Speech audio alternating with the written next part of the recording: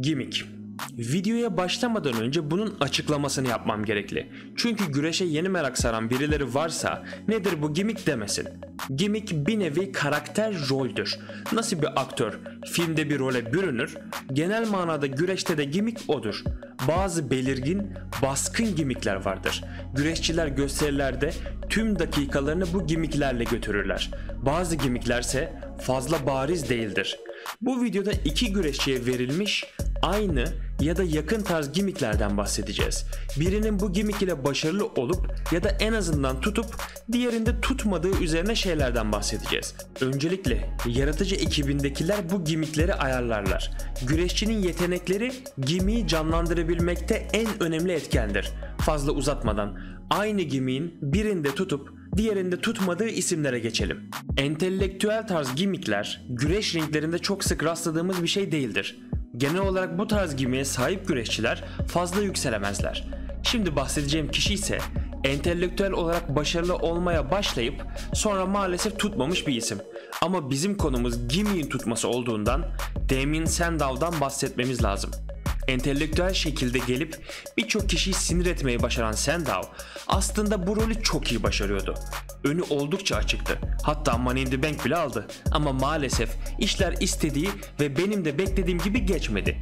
Yükseldiği dönemlerde şirketteki en iyi heel'lardan biriydi şüphesiz.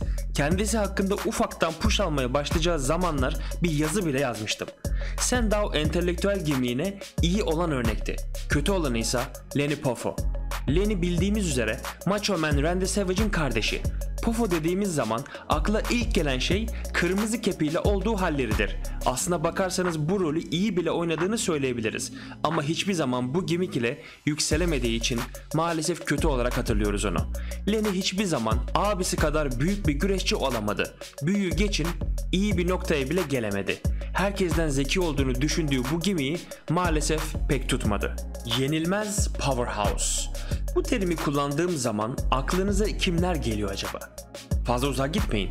Yakın bir süre önce WWE şampiyonluğuna aday olan bir isim bunun en büyük örneği. Goldberg. WCW'ye ilk getirildiğinde kendisi için yapılan planlar buydu. Yenilmez, vurup kıran, aşırı dominant bir güreşçi. Bu sizce tuttu mu? Elbette tuttu. Ki yıllar sonra yaşı ilerlemiş olmasına rağmen sırf ilgi çeksin diye gelip ana kemere aday olabiliyor. Günümüz değil konumuz. Geçmişe baktığımızda bu adam ciddi ciddi WCW domine ediyordu. 173 maçlık galibiyet serisiyle de rakamsal olarak bunu kanıtlamıştı. Orada bu gimmickle yakaladığı başarı onu çok farklı noktalara taşıyacaktı. Demin de dediğim gibi yıllar sonra bile gelip en azından güçlü biri olduğu seyircilere sunuluyordu. Diğer tarafa baktığımızda ise aynı bu tarz bir gimmickle push alan kişi Ryback'ti. Skip Sheffield zamanlarından sonra tekrardan WWE'de boy gösterip Ryback ismiyle adeta modern dönemin Goldberg'ü planlandı. Elbette ki pek tutmadı. Daha yakın tarihlerde bunun tutmasını beklemek hayalcilik olurdu. Kendi çapında dominant şekilde takılıp şirkette yükselemeden Ryback macerası sonlandı.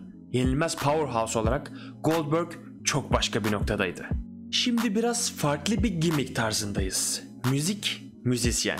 Müzikle içli dışlı bir gimmick düşünün.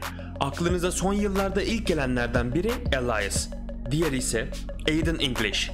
English WWE'nin gelişim organizasyonlarından çıkıp Rusev ile takıldığı dönemlerde müzikal bir gimmick vardı.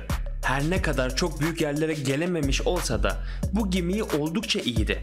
Rolünü her iyi oynayan güreşçiden şirketin en tepe adamlarından biri olmasını zaten beklemeyin. English ile Rusev oldukça fantastik birer partner olmuşlardı. Kötü örnekte ise bahsedilmesi gerçekten ilginç biri var.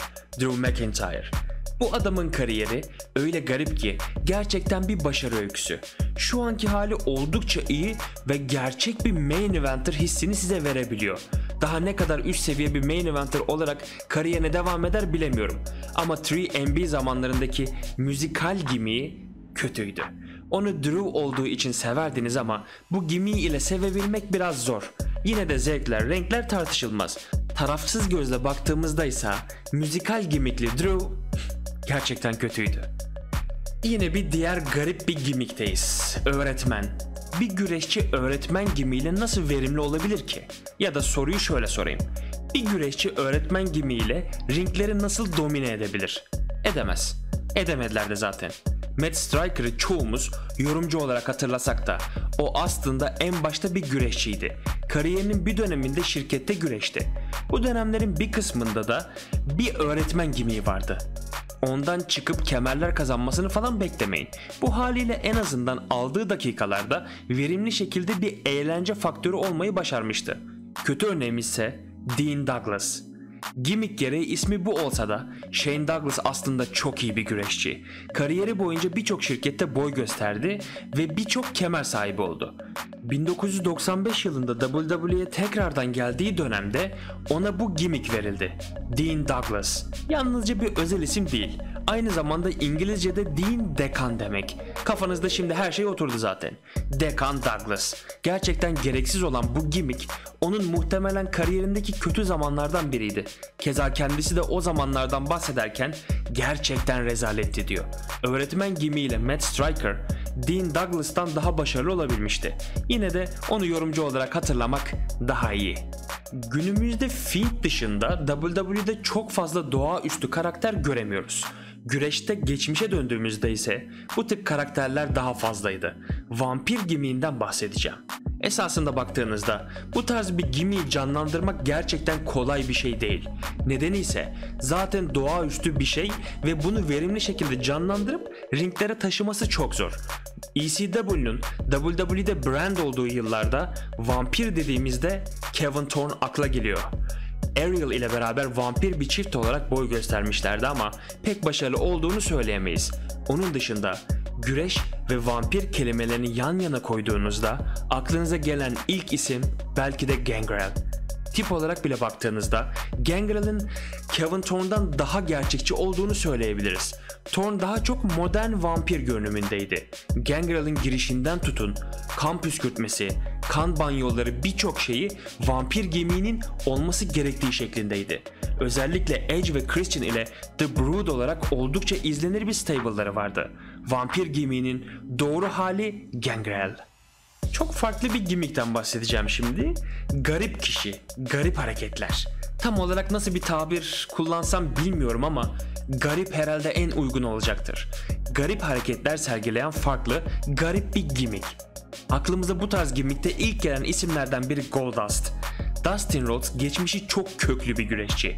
Belki onu Goldust olarak daha çok tanıdınız ve hiçbir zaman çok önemseyemediniz ama o gerçekten efsane statüsünde olması gereken bir isim. Goldust karakterine büründüğü ilk zamanlarda oldukça dikkat çekmişti. Yeri geldi Jabber gibi takıldı, yeri geldi kemerleri oynadı. Her ne olursa olsun bu garip, farklı karakteri harika canlandırıyordu Dustin Rhodes. Goldust kesinlikle gariplikte bir ekoldür. Diğer taraftan yine çok başarılı bir güreşçiye bakacağız.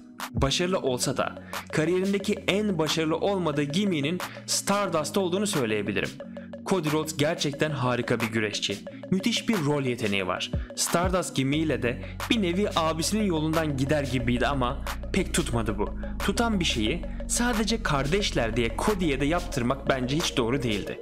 Cody de kariyerinde birçok farklı karakteri oynamış bir isim. Garip gimiğini düşündüğümüzde iyi örnek net bir şekilde Goldust. Kötüsü de Stardust oluyor maalesef. Güreşçi gimiği. Şimdi bu ne diyeceksiniz bana? Biz Türk'üz o zaman Türk gibi düşünelim. Güreş dediğimizde bizim gibi bu işle ilgilenmeyen herkesin aklına normal güreş gelir. Hatta ona normal demek bile biraz garip çünkü bizde güreşin farklı anlamları da var. Dolandırmadan konuya döndüğümde ise karşımıza Jack Swagger geliyor. Güreşçi geçmişi olduğu için Swagger'a bu tarz bir gimmick verildi. Kariyerinde bir kere World Heavyweight kemerini Cashin ile alsa da hiçbir zaman çok üst düzey bir isim olamadı. Hatta güreşçi karakterini şimdi bahsedeceğim ismin çeyreği kadar bile verimli kullanamadı. Genelde pek önemsenmeyen Swagger bu kategorinin kötü örneği. İyi örnekse direkt güreşçi olarak gelip efsane olan bir isim. Kurt Angle. Onun güreşi öyle küçümsenecek bir kariyer değil. Amerika'yı olimpiyatlarda temsil edip altın madalya kazanabilmiş bir isim.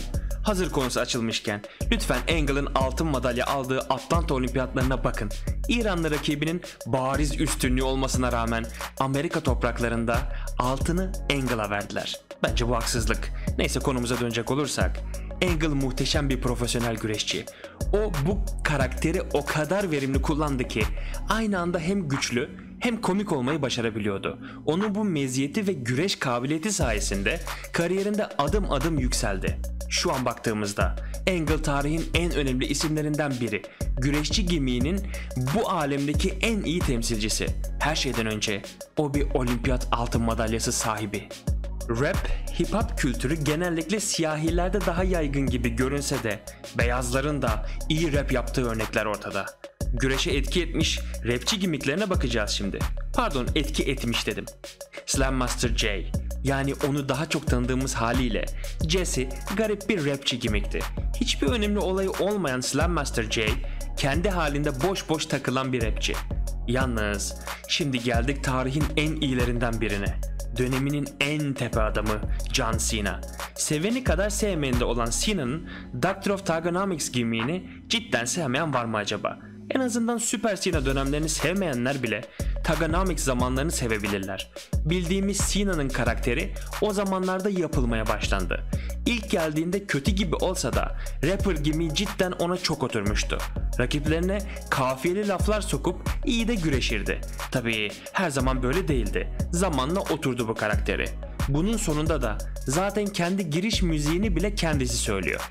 Cena'nın o zamanları gerçekten özlendi. Rapper gimiğini, rapçi gimiğini harika canlandırıyordu.